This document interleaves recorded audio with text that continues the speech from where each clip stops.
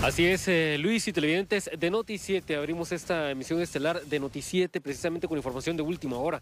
Nos hemos trasladado a la zona 3 de la ciudad capital donde hace unos minutos una intensa balacera deja por lo menos dos personas fallecidas. En el lugar se encuentran ya los bomberos voluntarios quienes también auxiliaron a una tercera persona que fue alcanzada por las balas. El informe completo lo tenemos con el oficial Víctor Gómez, a quien doy la bienvenida oficial para que nos pueda ampliar detalles acerca de lo que ocurrió hace unos minutos en este lugar. Buenas noches, licenciado Martínez. Al teléfono 122 de bomberos voluntarios ingresaron llamados telefónicos indicando que en la 28 Avenida, séptima calle la zona 3, se había originado un ataque armado. De inmediato se movilizaron cuatro ambulancias paramédicas de Estación Central, donde los técnicos en urgencias médicas brindaron soporte vital avanzado a un hombre quien presentaba heridas de bala en diferentes partes del cuerpo y de inmediato se le trasladó en la ambulancia 1424 hacia la emergencia del centro asistencial.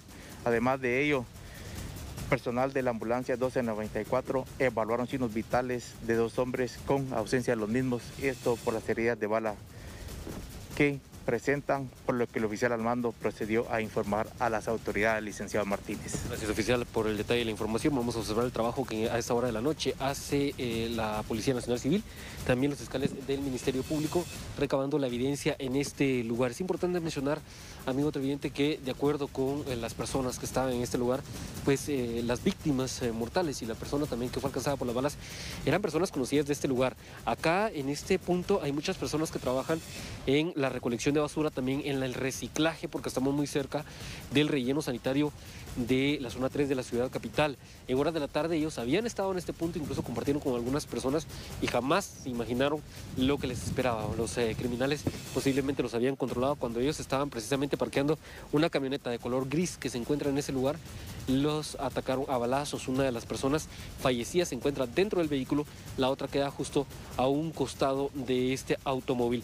De acuerdo con la información que también tenemos a esta hora de la noche, es eh, una jornada que se ha tornado violenta porque se está reportando de último momento también que hay una persona fallecida en el municipio de Villanueva, específicamente en el asentamiento La Paz.